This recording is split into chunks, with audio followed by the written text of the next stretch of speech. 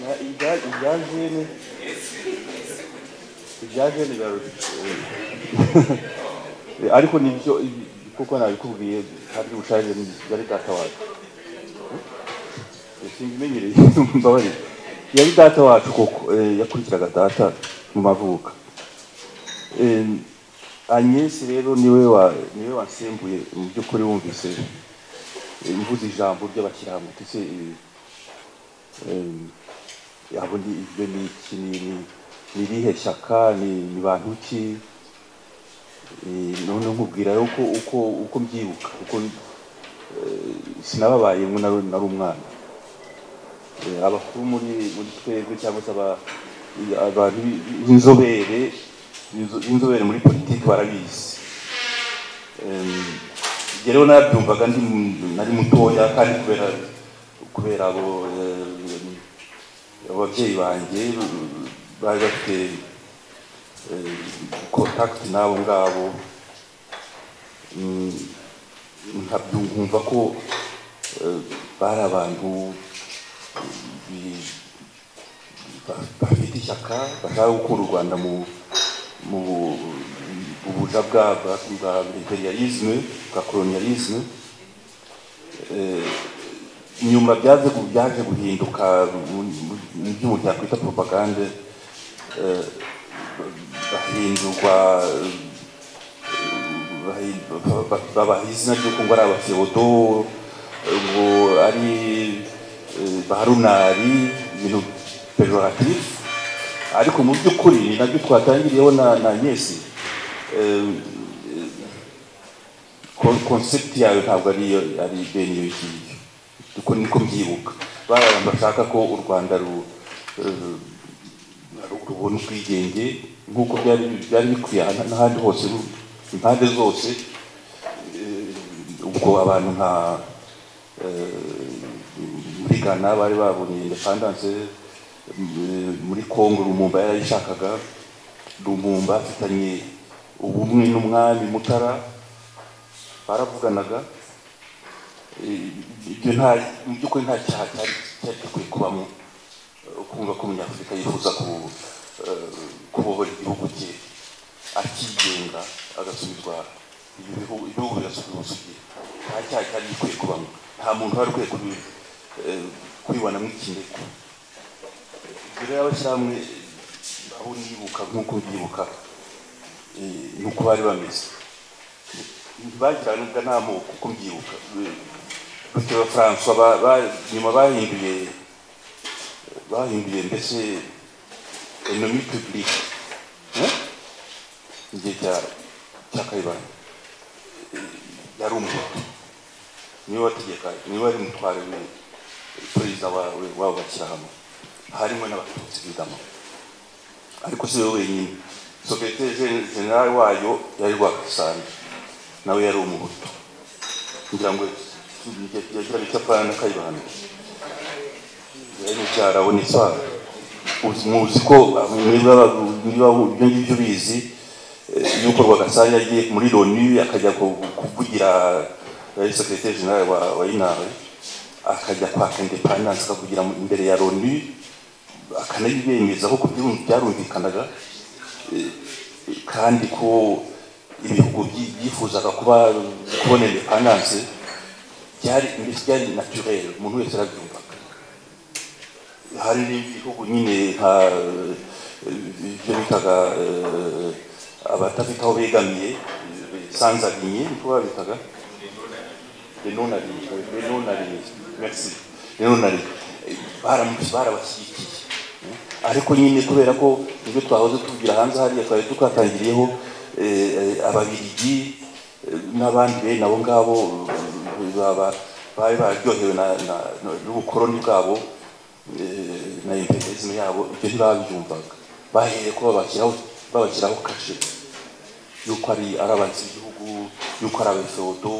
eh, bashaka gukomeza gukandamiza abahutu eh, ariko ko- abahutu bari na na- na rwagasana bari bakuru muri iryo shyaka nta- nta- nta- ntabibirebye bene ibyo byose rero eh, ntihagire unyumva nabi eh, nubwo nyine mwumvise ko nkomoka muri iyo miryango yavuyemo abapadiri kagame n'abandi benshi abapadiri busharija si sindi umufeoda sindi umufeoda absolument nuko nsa ntihagire wibwira ngo uriya n'umututsi ushaka kuzana amanyanga ushaka kuzana izindi nyigisho zitumvikana gupfobya revolution bya 59 ntabwo ari ibintu byo tukunguko ntekereza icyo ushaka nahoze nkubwira ni iyo notion yo gushyira hamwe utavangura ni cyo by'ukuri icyo bashakaga birashoboka ko batarabashije kubisobanura neza cyangwa bakabyifatamo nabi nko guhangana n'ukurusha imbaraga ntudohore ntube simati nk'uko basigaye babyita woroshye ushake ukazi nziza. Birashoboka ko ariyo mpamvu byapfuye. Cyangwa se ntibumve ntibumve ubukana bw'iyo revolution yari yatangiye. Aho bwageraga bakabisuzugura niyo mpamvu batashoboye gutera imbere byabananiye uko nibwira ariko mu gitekerezo ubwabyo concept ntabwo cyari kibi cyane bashaka ko u rwanda rwongera rukabona ubwigenge abanyarwanda bagasubirana umwami hari ikintu bikwiye kwibagirwa nuko abazungu n'abo ba revolutionnere bahewe ko babaha indi kashe yuko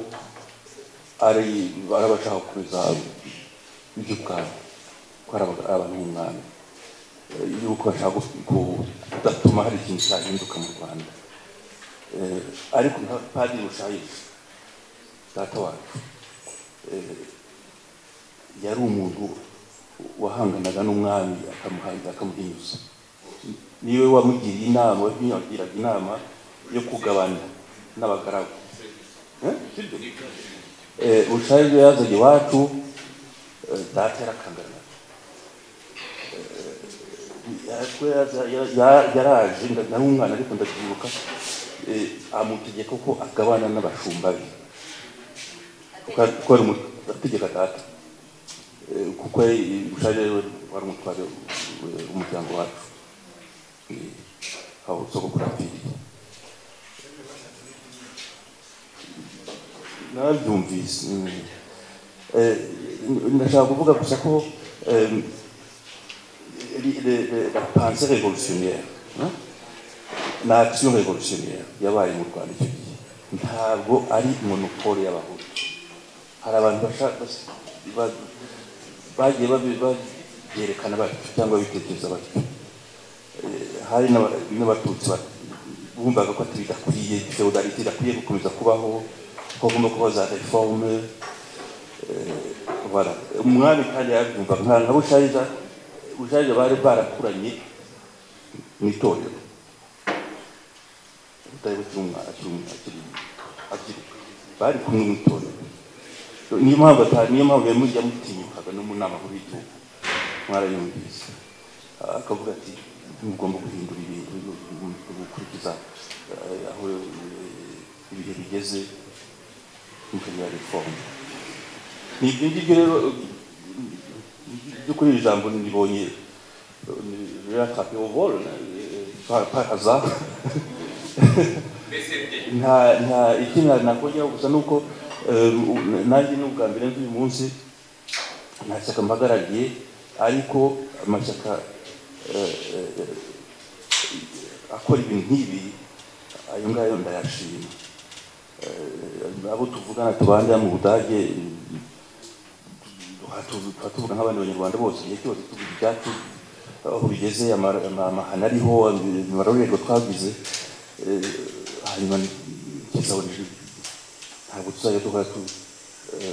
twimyoza twihisha ahantu dusanga icyeri ariko nta kintu nta bandi tubona noneho ubwo iyo akazi ibonetse reka nzagende ndebe n'abahari bambone kuko hari ababiga bibwira bati wa mudokiteri yarabisuzuguye yarabiretse eh, ubwo nigeze kuza muri eh, mba active hanyuma nza kwitazaho impamvu wambajije impamvu na byo ni ibindi bizaba Eh, iyo habaye crise nagira ngo mbikubwire uri- uri- uriya perezida mukuru aha ngaha iyo habaye crise ubundi ikomeye nk'uko kumva ko abantu bari bafite za fonction zikomeye ujya kumva kuva ngo kuri kuri internet ngo nibagende tutabakeneye ngo n'ubundi ngo ngo baradubure bene ibyo ngibyo amagambo nk'ayo eh? Eh, iyo bibaye bityo ugomba ku eh, c'est comme euh, c'est comme quand il y a le feu hein? Eh, ugomba ku ugomba ku ku- kugira kuvuza alarme abantu bakaza noneho mukavuga mbi mukumva ibyo ari byo iyo bitabaye bityo birapfa amaherezo birapfa niba byarantangaje rero cyane numvise ngo eh, gurupe nzima ivuyemo kavamo igashinga n'ibindi ntihagire igikoma Eh, ntihagire uvuga nyamuneka nimuze tu- duhure tu- tu- tu- twumve ibyo bintu ibyo ari byo impamvu ikibiteye turebe ko twabiki twagobotora niyo mpamvu rero nagize nti i- i- umuntu eh, sinaba mu bintu bata- batangisha inama habaye ibintu bikomeye nanjye ngize ibyago haraho nta ntawe nakwitabaza ntaba ntaba ntabara ni nk'ubu niroteye ariko sinavuye nta mu by'ukuri sinavuye muri opposition sinavuyemo Eh, bukeye twahuye ahantu batumye ANC nari mpari nanjye byari byiza ni ukuvuga abantu baba bakwiye gukorana. Ariko byose igomba guhora igomba guhora bifite coordination. I- ibi ibyo abantu batangiye kubona bi- bihengamye bigoramye baka- bakareba ukuntu bikorera hamwe. Nawe ntabwo bi- birapfa. Ubwo ni iteka haduka ibintu nka biriya byo nyine kwa perezida kagame eh, by'uko umuntu umwe eh, yikaniza byose. Akumva ko eh, akumva ko ari we ushoboye ikintu cyose no muri opposition bigamo ni ni iby'abantu